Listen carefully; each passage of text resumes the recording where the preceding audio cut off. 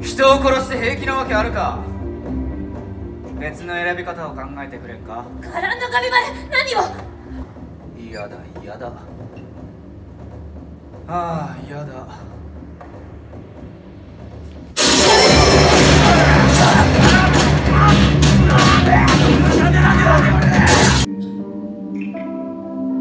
兄さん助けに来ましたよ。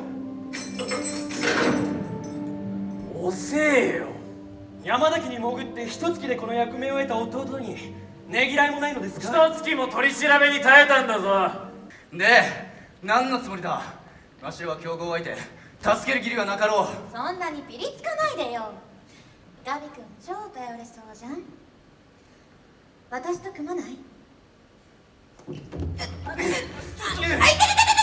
ててて何すんのよ！色仕掛けなら通じんぞ。くのいちのやり方は心得ているあはいはいそうでしょうとも。でも教頭の誘いは本気だよ。人数多い方が安全だもん。ちょっと。これはまさか本物の神仏。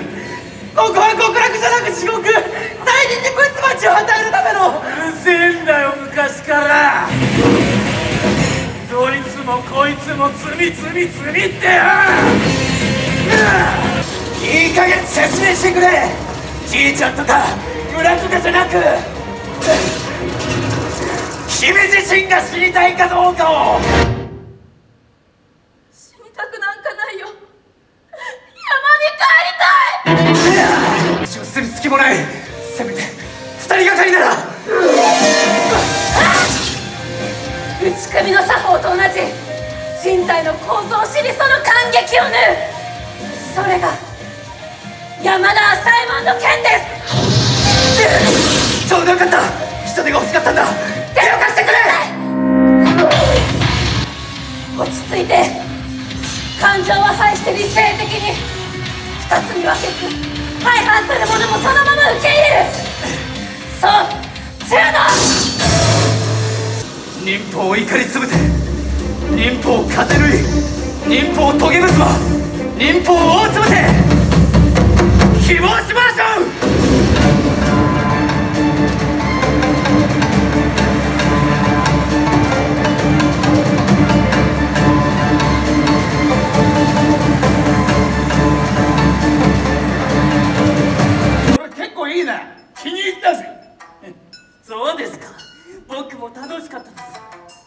楽しかった。はい。生きた人間の手を改造するなんて初めてやりましたからね。おいおいおいおいお前今さらっと改造って言ったよな。言ったよな。あの少し話を聞きたいだけです。この威力単純な筋力とは別の別種の力。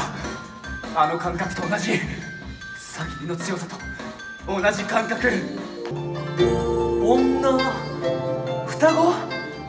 こんなところでのんきに何を？なぜ人間がここにいる？送信は何をしている？自分は人間じゃねえみたいな言い方だな。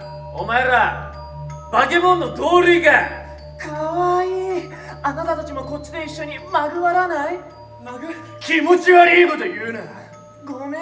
ここまで入ってきた人間が珍しくてたく。いいとこだったのに萎えさせやがって。殺してやる。天仙様に会えば。死なず老いず永遠に美しい完璧な存在。何者も叶いはしない。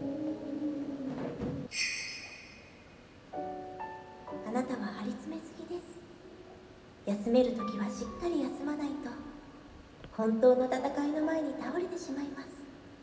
本当の戦い？そんな大仕事が控えていたか。いいえ人生という名の戦いです。山田朝右衛門氏よ。自分の師匠っす。目が潰れてるのに森を走ってたぞ。それは慣れたよ。本当は生きてないと単にならないんだけどムカつくから殺そう。